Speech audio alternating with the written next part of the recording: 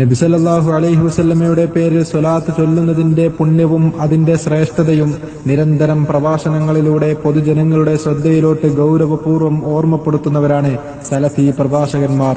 എന്നാൽ സലഫികൾക്ക് സ്വലാത്ത് ഇല്ല എന്നും അവർ പ്രവാചകനെ സ്നേഹിക്കുന്നവരല്ല എന്നൊക്കെ പറഞ്ഞുകൊണ്ട് പൊതുജനങ്ങളെ തെറ്റിദ്ധരിപ്പിക്കുവാൻ ശ്രമിക്കുന്നു ചില കക്ഷികൾ.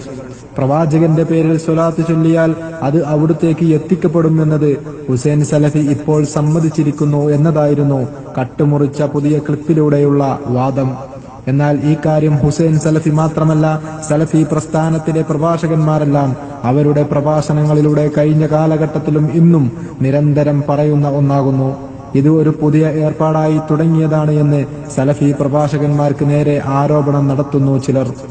അതിന്റെ സത്യാവസ്ഥ ഇതാ നിങ്ങളിലോട്ട് എത്തിക്കുന്നു. ഇത്തരം വാദങ്ങൾ ഉന്നയിച്ചുകൊണ്ട് ആരോപണങ്ങൾ നടത്തുന്ന പ്രിയ സഹോദരന്മാരെ നിങ്ങൾ ഇത്തരത്തിൽ പൊതുജനങ്ങളെ തെറ്റിദ്ധരിപ്പിക്കുന്നത് നിർത്തലാക്കുക. അള്ളാഹുവെ സൂക്ഷിക്കേണ്ട മുറപ്രകാരം നിങ്ങൾ സൂക്ഷിക്കുകയും ചെയ്യുക. അള്ളാഹു നിങ്ങൾക്ക് നിങ്ങളിൽ നിന്ന് വന്നുപോയ തെറ്റുകൾ പുറത്തു തരുമാറാവട്ടെ. ആമീൻ.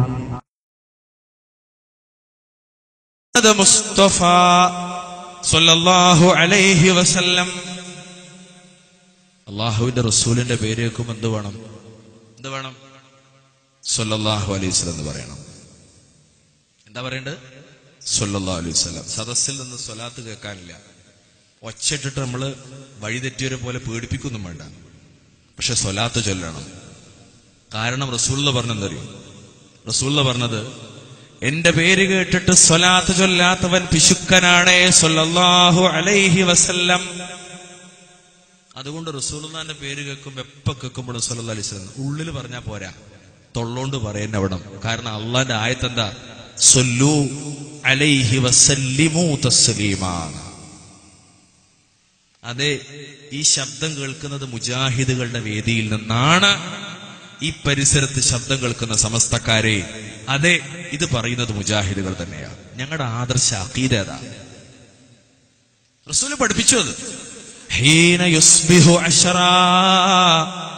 അശ്റാ يمسي عشرة صلى الله عليه وسلم. രാവിലെ പത്ത് സ്വലാത്ത് സുന്നത്തുണ്ട്. വൈകുന്നേരത്തും പത്ത് സ്വലാത്ത് സുന്നത്തുണ്ട്. സൊല്ലാഹു അലൈഹി വസല്ലം. അവിടെ തീർന്നില്ല. വെള്ളിയാഴ്ച ദിവസം ഒരു ദിവസം മുഴുവനും മകരിബ് വരെ സുബഹി മുതൽക്ക് മകരിബ് വരെ സ്വലാത്തുണ്ട്. സൊല്ലാഹു അലൈഹി വസല്ലം. ഏതാണ് സ്വലാത്ത്? ഏതാണ് സ്വലാത്ത്?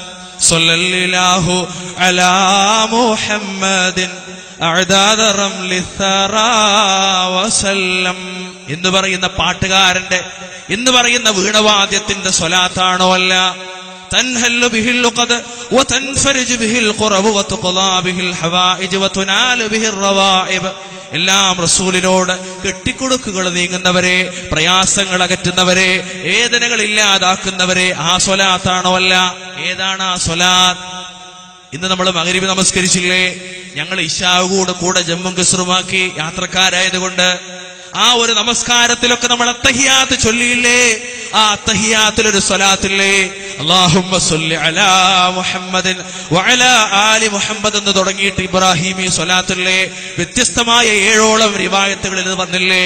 ആ ഒരു സ്വലാത്തല്ലാതെ മറ്റൊരു സ്വലാത്ത് സൊല്ലാഹു അലൈഹി വസല്ലമ തങ്ങൾ പഠിപ്പിച്ചിട്ടില്ല. സ്വലാത്ത്. സ്വലാത്തിനെ ഒരാളും എതിർക്കുന്നില്ല.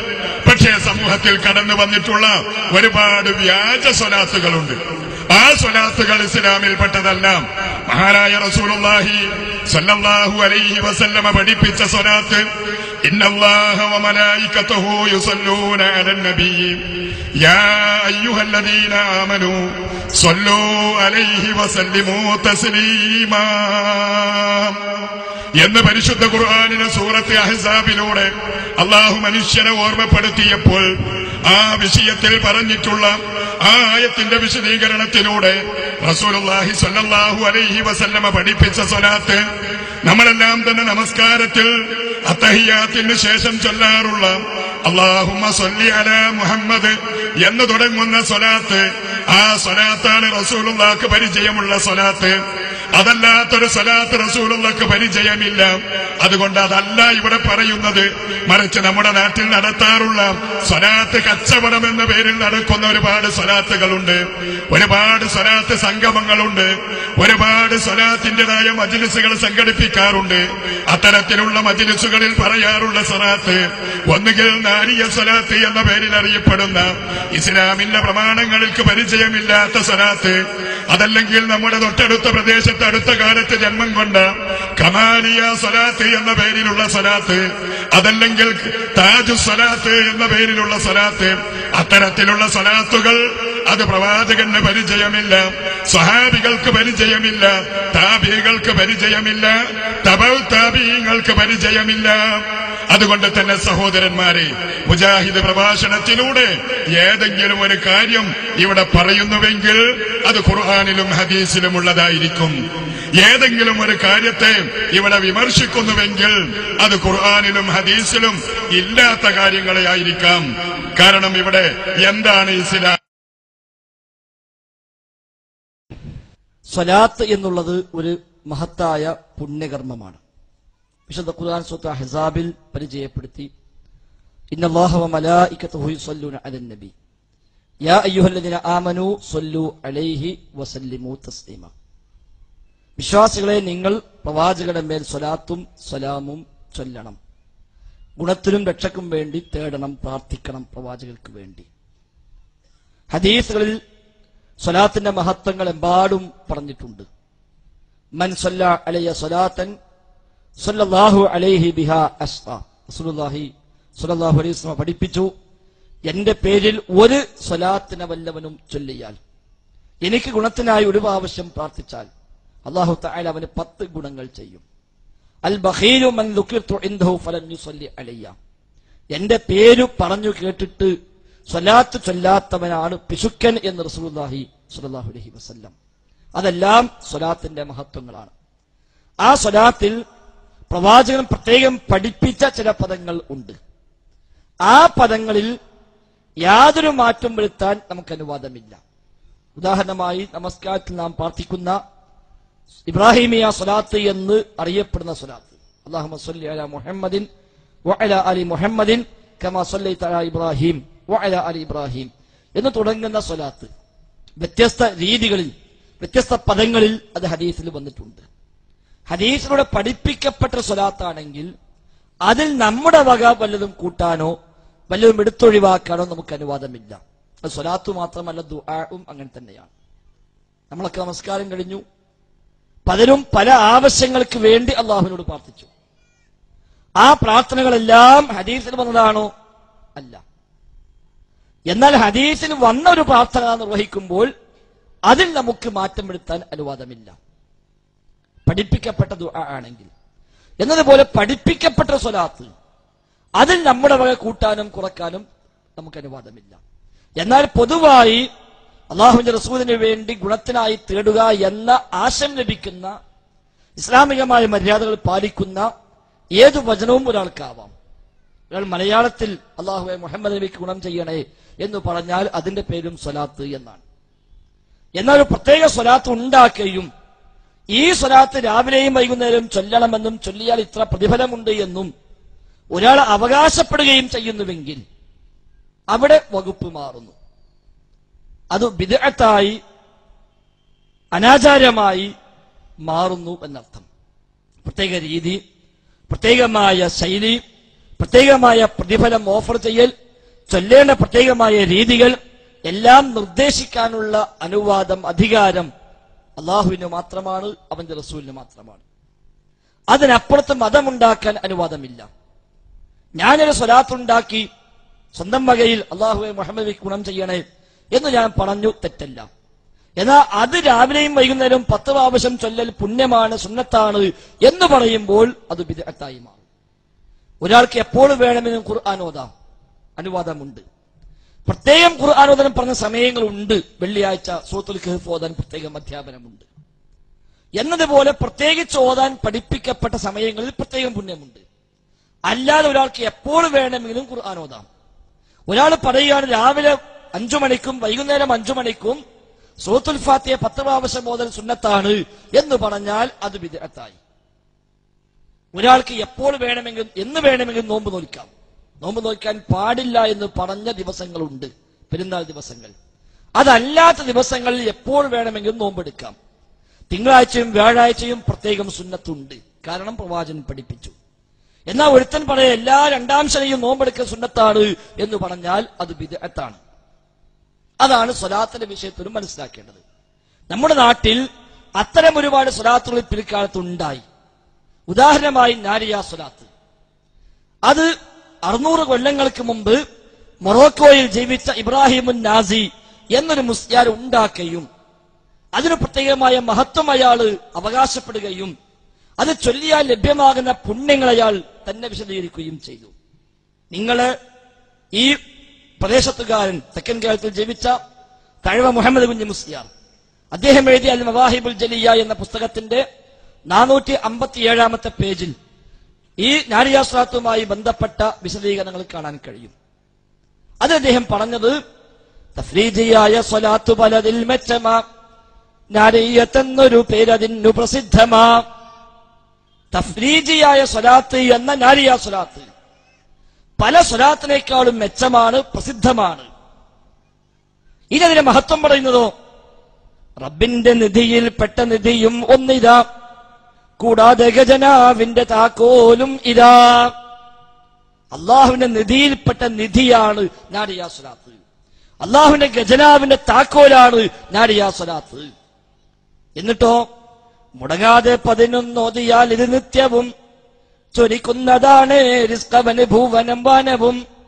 സുഭിക്ക് ശേഷം ആയിരിക്കൽ വേണ്ടതാ. എന്നുള്ള നിയമം ഓർത്തവൻ ചൊല്ലേണ്ടതാ. രാവിലെ സുബഹിക്ക് ശേഷം എല്ലാ ദിവസവും പതിനൊന്ന് പ്രാവശ്യം ചൊല്ലുകയാണെങ്കിൽ ആകാശഭൂമികൾ അവന് ഭക്ഷണം ചൊരിഞ്ഞു കൊടുക്കും. പതിനൊന്നാണ് മിനിമം എണ്ണം. പിന്നെ മുപ്പത്തിമൂന്ന് നാൽപ്പത്തിനാല് നൂറ്റി പതിനൊന്ന് മുന്നൂറ്റി മുപ്പത്തി മൂന്ന് നാനൂറ്റി നാൽപ്പത്തിനാല് ആയിരം. അവസാനത്തെ എണ്ണം നാലായിരത്തി നാനൂറ്റി നാൽപ്പത്തിനാല് ഈ ഓരോ എണ്ണത്തിന്റെയും മഹത്വം അദ്ദേഹം വിവരിക്കുന്നുണ്ട്. അവസാനത്തെ എണ്ണം നാലായിരത്തി നാനൂറ്റി നാൽപ്പത്തിനാല് അതിന്റെ ദിഹ നാലായിരം വേണ്ടുന്നതാ. നാനൂറ്റി നാൽപ്പതിനോട് നാലും ചേർന്നതാ. ഈ അതത് മുഴുവൻ ഓതിയാൽ ക്ഷണം തന്നെ. ഏതൊരു അസീറും സാധ്യമായി വരും പൊന്നേ. അവസാന എണ്ണം നാലായിരത്തി നാനൂറ്റി നാൽപ്പത്തിനാല് അത് മുഴുവൻ ചൊല്ലിത്തീർത്താൽ എല്ലാ പ്രയാസങ്ങളും അതോടുകൂടി ഒഴിവായി കിട്ടും പൊന്നേ. എന്നാണ് അവസാനത്തെ വാക്യം. ഇങ്ങനെ ഒരു ഒരു സവിശേഷത കൽപ്പിക്കപ്പെടുമ്പോൾ അത് ബിരത്തായി മാറും. ഞാനിയാ സ്രാത്ത് കമാലിയാ സ്വലാത്ത് താജു സ്വലാത്ത് തുടങ്ങി ധാരാളം സ്വലാത്തുകൾ പിൽക്കാലത്ത് അങ്ങനെ പലരും ഉണ്ടാക്കി വിട്ടിട്ടുണ്ട്. ചിലതിനെല്ലാം ആശയങ്ങൾ ഇസ്ലാമികമായ അധ്യാപനങ്ങൾക്ക് ഘടകവിരുദ്ധം കൂടിയാണ്. ഉദാഹരണം ഞാനിയാ സ്രാത്ത് തന്നെ. അള്ളാഹു മസല്ലി സ്വലാത്തൻ കാമില വസല്ലിം സലാമൻ താമ്മ.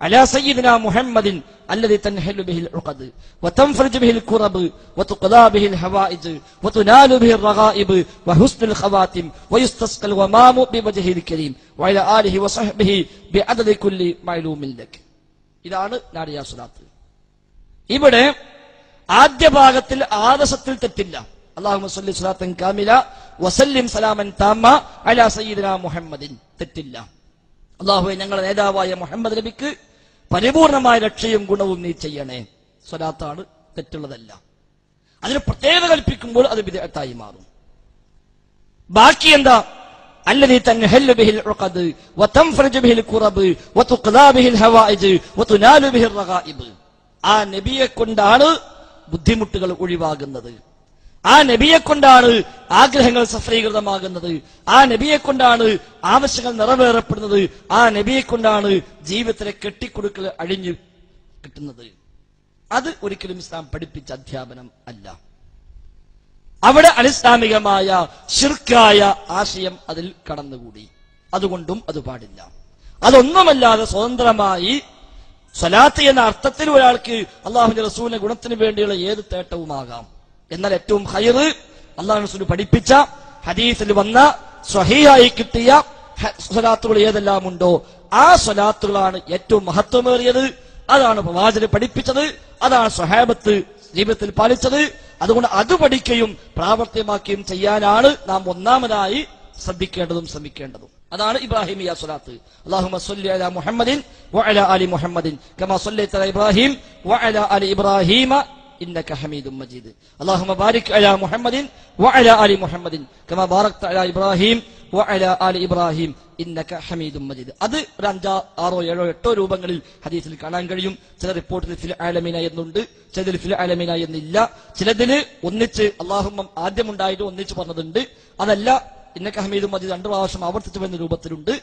ചിലതിൽ പ്രവാചകന്റെ ദുല്യത്ത് കൂടി ഉൾപ്പെടുത്തിക്കൊണ്ടുണ്ട്.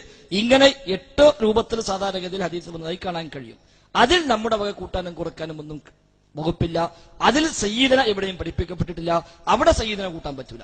നബി സയ്യിദല്ലേ? ആണ്. ഇവിടെ സയ്യിദനെ കൂട്ടണമെങ്കിൽ പ്രവാചകരാണ് പഠിപ്പിക്കേണ്ടത്. പ്രവാചകൻ പഠിപ്പിക്കാത്തത് അതിൽ കൊണ്ടുപോയി കൂട്ടാൻ നമുക്ക് അനുവാദമില്ല. അല്ലാതെ സയ്യിദനെ പറയാൻ പാടില്ല എന്നോ അള്ളാഹു റസൂൽ സയ്യിദ് അല്ല എന്നോ ഒന്നും അതിന് അർത്ഥമില്ല. അള്ളാഹു റസൂൽ പഠിപ്പിച്ച ദുആയിൽ നമ്മുടെ വക ഒരു പദം ചേർക്കുക എന്നുള്ളത് അത് അതിക്രമം. ത് മുജാഹിദുകളെ പറ്റി പറയുമ്പോഴും പറയാറുള്ളത് അവർക്ക് റസൂലുള്ളാനോട് വെറുപ്പാണ്. റസൂൽ സല്ലാഹു അലൈഹി വസല്ലമിന്റെ പേര് പറയുമ്പോഴോ അത് കേൾക്കുമ്പോഴോ ഇവർ സ്വലാത്ത് ചൊല്ലാൻ പാടില്ലെന്നാണ് പറയുന്നത്. സ്വലാത്ത് ചൊല്ലുന്നതിനോട് ഇവർക്ക് വെറുപ്പാണ്. അതിനെ ഇവർ വിരോധിക്കുന്നവരാണ് എന്നൊക്കെയല്ലേ പ്രചരണങ്ങളുടെ ആകത്തുക.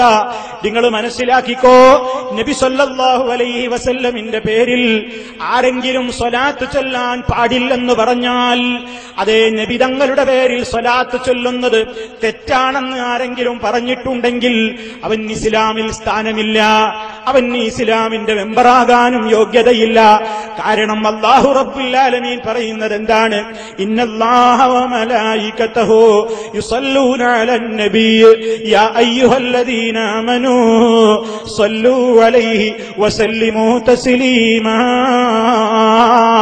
അല്ല കൽപ്പിച്ച കാര്യമാണ് നബിതങ്ങളുടെ പേരിൽ സ്വലാത്തിനെ ചോദിക്കൽ.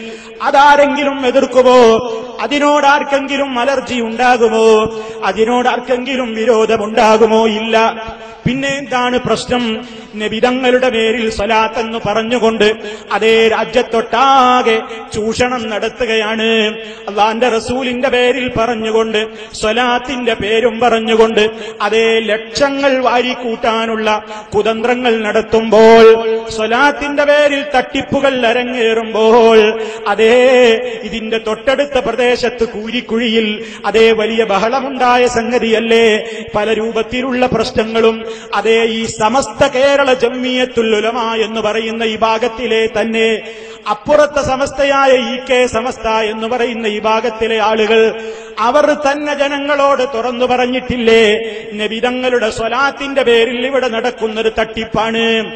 കൊല്ലത്തിനൊന്നൊരു നാടക നടനെ കാശും കൊടുത്തു കൊണ്ടുവന്നിട്ട് അതാ സ്വലാത്ത് ചൊല്ലുന്ന തങ്ങൾ സ്വലാത്തിന്റെ മജിലിസിൽ വെച്ച് അതേ അംഗവൈകല്യം മാറിയിരിക്കുന്നു. രോഗം മാറി എന്നയാളെ കൊണ്ട് അഭിനയിപ്പിച്ച് വികലാംഗനായി അഭിനയിപ്പിച്ചിട്ട് അതേ ആ മജിലിസിൽ പങ്കെടുത്തപ്പോൾ രോഗം മാറി എന്ന് പ്രചരിപ്പിച്ച് അയാൾ മുഖേന അവിടെ കാശുവാരി കൂട്ടാൻ വേണ്ടി സ്വലാത്തിന്റെ പേരിൽ തട്ടിപ്പ് നടന്നു എന്ന് ഈ കെ ഈ ഭാഗം സമസ്ത എഴുതിയതല്ലേ? അവരിന്നും പ്രസംഗിക്കുന്നില്ലേ? നിങ്ങൾ ആലോചിച്ചു നോക്കൂ. അപ്പൊ ഇത്തരത്തിലുള്ള തട്ടിപ്പുകൾ ഇത് പാടില്ല.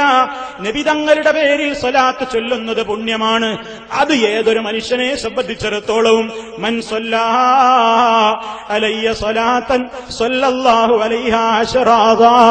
നബി സല്ലാഹു അലൈഹി വസല്ലം പറഞ്ഞില്ലേ ആരെങ്കിലും എന്റെ പേരിൽ ഒരു തവണ സ്വലാത്തിനെ ചോദിച്ചാൽ അള്ളാഹു റബ്ബുല്ലാലമീൻ അവന് പത്ത് പ്രതിഫലം നൽകും. ഒന്നിന് പത്ത് പ്രതിഫലം കിട്ടുന്ന പുണ്യകർമ്മമാണ് സ്വലാത്ത്. ആ സ്വലാത്ത് ചൊല്ലുന്നതിന് മുജാഹിദുകൾ എതിരാണോ? നിസ്കാരത്തിൽ അവർ സ്വലാത്ത് ചൊല്ലുന്നു. ബാങ്ക് കേട്ട് കഴിഞ്ഞാൽ ബാങ്ക് കേട്ട മുസ്ലിം സ്വലാത്ത് ചൊല്ലുന്നു. അതേ പള്ളിയിൽ പ്രവേശിക്കുമ്പോൾ സ്വലാത്ത് ചൊല്ലുന്നു. പള്ളിയിൽ നിന്ന് പുറത്തു കിടക്കുമ്പോൾ സ്വലാത്ത് ചൊല്ലുന്നു. അതേ ഒരുപാട് ഒരുപാട് സന്ദർഭങ്ങളിലൂടെ അവസരം കിട്ടുമ്പോഴെല്ലാം ഏത് സന്ദർഭത്തിൽ അവസരം കിട്ടിയാലും സ്വലാത്ത് ചൊല്ലുന്നത് വളരെ പുണ്യമാണ്. പക്ഷേ ആ പേരും പറഞ്ഞിട്ട് നബിസൊല്ലാഹു അലൈഹി വസല്ലമിനല്ലേ സ്വലാത്ത് ചൊല്ലണം എന്ന നിർദ്ദേശമുള്ള ആയത്തിറങ്ങിയത്? അത് കേട്ടവര് സഹാബിമാരല്ലേ സിദ്ദീഖുല്ലാഹു അന്നുവല്ലേ സ്വഹാബത്തല്ലേ? അവരാരും ഒരിക്കലും അതേ ആളുകളെ കൊണ്ട് സ്വലാത്ത് ചൊല്ലിക്കാൻ എന്ന് പറഞ്ഞുകൊണ്ട് അതേ നബിതങ്ങൾക്ക് പരിചയമില്ലാത്ത അതേ അർത്ഥത്തിൽ തന്നെ ഒരുപാട് തകരാറുകളില്ല കുറെ സലാത്തുകൾ ഉണ്ടാക്കിയിട്ട് അതിന് റസൂൽ സല്ലാഹു അലൈഹി വസല്ലമിന്റെ സ്വലാത്തിനേക്കാൾ പൊരിശയും പറഞ്ഞിട്ട് അത് ചൊല്ലാനും ചൊല്ലിപ്പിക്കാനും വേണ്ടി ആളുകളെ പ്രത്യേകം മജിലിസുകൾ വിളിച്ചു കൂട്ടിയിട്ട് അതേ സ്വലാത്ത് മജിലിസ് എന്ന് പറഞ്ഞ് അവിടെ വരുന്ന സഹാബിമാരെ കൊണ്ട് അതേ ദീനാറും ദുർഹമുകളുമൊക്കെ ദാനം ചെയ്യിപ്പിച്ചുകൊണ്ട് പണമുണ്ടാക്കുന്നവരേർപ്പാട് റസൂലും സഹാബത്തും കാണിച്ചു തന്നിട്ടില്ല. അതുകൊണ്ട് സ്വലാത്തിന്റെ പേരിൽ ഈ തട്ടിപ്പ് വേണ്ട സ്വലാത്തിന്റെ പേരിൽ ചൂഷണം വേണ്ട. അതല്ലാതെ ഏത് സന്ദർഭത്തിലും തനിക്ക് അള്ളാഹുവിങ്കൽ പ്രതിഫലം കിട്ടണമെന്ന ഉദ്ദേശത്തോടെ എപ്പ സലാത്ത് ചൊല്ലിയാലും അതിനല്ലാഹു പ്രതിഫലം നൽകുന്നു. എന്ന് ജനത്തെ പഠിപ്പിക്കുന്ന മുജാഹിദ് പ്രസ്ഥാനത്തെ കുറിച്ചാണോ ഓ പ്രിയപ്പെട്ട സഹോദര നിങ്ങൾ പ്രചരിപ്പിക്കുന്നത് ഇവർ സ്വലാത്ത് വിരോധികളാണ്. ഇവർ സ്വലാത്തിന്റെ എതിരാളികളാണ്. ഈ പ്രസംഗം തുടങ്ങിയപ്പോൾ നിങ്ങൾ കേട്ടില്ലേ? തുടക്കത്തിൽ സ്വലാത്ത് ചൊല്ലിയത് കേട്ടില്ലേ? ഇവിടെയുള്ള സഹോദരങ്ങളതാ സ്വാഗത പ്രസംഗത്തിലും ആശംസകൾ പറഞ്ഞപ്പോഴും തുടക്കത്തിൽ റസൂലുള്ളാടെ പേരിൽ സ്വലാത്ത് ചൊല്ലിയത് നിങ്ങൾ കേട്ടില്ലേ? അതെ അവിടുത്തെ പേര് കേൾക്കുമ്പോൾ സ്വലാത്തിനെ ചൊല്ലൽ അത് ചോദിക്കൽ പുണ്യകർമ്മമാണ്. അതേ നബി സല്ലല്ലാഹു അലൈഹി വസല്ലമിന്റെ പേരിൽ അത് ഏറ്റവും വലിയ ഒരു പുണ്യകർമ്മമായിട്ട് നാം നമുക്ക് പ്രതിഫലം കിട്ടാൻ വേണ്ടിയാണ് നമ്മളത് നിർവഹിക്കേണ്ടത് അതിന്റെ പേരിൽ പണം വാങ്ങാനല്ല അതിന്റെ പേരിൽ കോടികൾ വരാനല്ല അതിന്റെ പേരിൽ ജനങ്ങളെ ചൂഷണം ചെയ്യാനുമല്ല. ഞാനൊരു സ്വലാത്തുകാരനാണെന്ന് ഓരോരുത്തരെ ധരിപ്പിക്കാനുമല്ല. പക്ഷേ അപ്പുറത്തെ ചില ആളുകൾ പറയുന്നത് എന്താണ്? സാധുക്കളായ ആളുകൾക്ക് അതറിയില്ല. അതേ വിരലിലെണ്ണാവുന്ന ചില പുരോഹിതന്മാര് ജനങ്ങളോട് എന്താ പറയുന്നത്? സ്വലാത്ത് എന്ന് പറഞ്ഞാൽ പണം കിട്ടണം എന്ന് കരുതിയിട്ട് സ്വലാത്ത് ചൊല്ലിയാലും അതുപോലെ തന്നെ ആളുകളുടെ മുമ്പിൽ ഞാനൊരു സ്വലാത്ത് തങ്ങളാ. മുത്തുനബിയോട് എനിക്ക് വലിയ സ്നേഹമാണ്. എന്ന് ആളുകൾ അറിയട്ടെ എന്ന നീയത്തോടെ ചൊല്ലിയാലും ചൊല്ലിയവന് കൂലിയുണ്ടെന്ന് പ്രചരിപ്പിക്കുന്നവർ ഇസ്ലാം മുസ്ലിമിന് പരിചയമില്ല. പടച്ചറബിന്റെ പൊരുത്തത്തിന് വേണ്ടി അല്ലാതെ ജനത്തിന്റെ കൈയടിക്ക് വേണ്ടി ജനത്തിന്റെ പൊരുത്തത്തിന് വേണ്ടി ജനങ്ങളിൽ നിന്നുള്ള നല്ല അഭിപ്രായം കിട്ടാൻ വേണ്ടി സ്വലാത്ത് ചൊല്ലിയാൽ ചെയ്താൽ സ്വലാത്തെന്ന് മാത്രമല്ല ഒരു വിവാദത്തിനും റബ്ബിന്റെ അടുക്കൽ വാല്യൂ ഇല്ല മൂല്യമില്ല. പരിശുദ്ധ ഖുർആൻ പറഞ്ഞില്ലേ മുസല്ലീൻ സാഹൂൻ അതേ ആളുകളെ കാണിക്കാൻ വേണ്ടി എന്ത് പ്രവർത്തിക്കുന്നവനാണെങ്കിലും അവന്റെ അമലിന് വിലയില്ല. ഇതൊക്കെ ജനങ്ങൾ ജനങ്ങളോട് മുജാഹിദ് പ്രസ്ഥാനം പറയുമ്പോൾ അപ്പുറത്തുള്ളവര് പറയും കണ്ടോ സ്വലാത്തിനെ എതിർക്കുന്നു. സത്യമെന്താ? സത്യം നേരെ മറിച്ചു. അപ്പൊ ഇത് കേട്ടുപോകൂലേ? ഇതൊരാൾ കേട്ടുപോയാ തിരിഞ്ഞില്ലേ? അതാ അവർ സ്വലാത്ത് ചെല്ലൂല എന്ന് പറഞ്ഞു പൊളിഞ്ഞു. ചെളിങ്ങാട്ടിന്ന് മാറ്റി വെച്ചിട്ട് കാര്യമുണ്ടായില്ല അവിടെ ചെന്ന് നോക്കുമ്പോ സ്വലാത്തിന് ഒരു കുറ്റൊന്നും പറയുന്നില്ലല്ലോ. ഇത് മനസ്സിലായി പോകില്ലേ ആളുകൾക്ക്? അവരിത് കേൾക്കൂലേ? അവരിത് മനസ്സിലാക്കൂലേ? പിന്നെ നാളെ മറ്റ് മൗലൈമാർക്ക് പറയാൻ പറ്റുമോ ഇവർ സ്വലാത്ത് ചെല്ലൂലാൻ ഇതാണ് പ്രശ്നം. വേറെ മുജാഹിദുകളെ പറ്റി ഒരു പ്രശ്നവും ഇവർ പേടിക്കണില്ല. ഇതുപോലെ ഓരോന്നും അങ്ങ് കെട്ടഴിയും. ഇതുപോലെ ഓരോന്നും അങ്ങ് കെട്ടഴിയും. അതേ അഷറഫുൽ ഹൽക്ക് സല്ലല്ലാഹു അലൈഹി വസല്ലം അവിടുത്തെ കുറിച്ച് വിശ്വാസമില്ല പോലും. ആരാണ് നബിതങ്ങൾ എന്ന് മനസ്സിലാക്കടോ നബി സല്ലല്ലാഹു അലൈഹി വസല്ലം അതാ ഈ ലോകത്തേക്ക് നിയുക്തരായ മഹാനായ നേതാവ്. ദുന്യാവിൽ അവിടുത്തെ സ്ഥാനം എത്രയാണ്? ആഹിറത്തിൽ അവിടുത്തെ സ്ഥാനം എത്രയാണ്? അത് വർണിച്ചാൽ അവസാനിക്കുമോ? അതേ ലോകത്ത് ഇന്ന് വരെ അങ്ങനത്തെ ഒരു മനുഷ്യൻ ജനിച്ചിട്ടില്ല. അതേ ഒരു മനുഷ്യനും ഇനി അങ്ങനത്തെ ഒരു മനുഷ്യനെ ഒരു ഉമ്മയും പ്രസവിക്കൂല. അതേ ഒരു കണ്ണും ഇനി അങ്ങനത്തെ ഒരു മനുഷ്യനെ കാണാനുള്ള സൗഭാഗ്യം കിട്ടൂല. അങ്ങനത്തെ മനുഷ്യനാണ് മഹാനായ റസൂൽ സല്ലാഹു അലൈഹി വസല്ലം.